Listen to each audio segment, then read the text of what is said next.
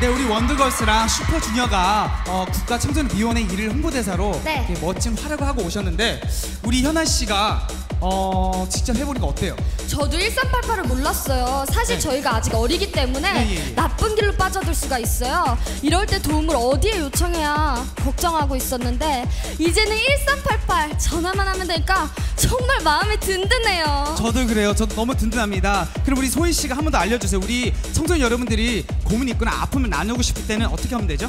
국번 없이 언제 어디서나 1388만 누르시면 돼요. 네. 청소년을 위한 헬프콜 1388.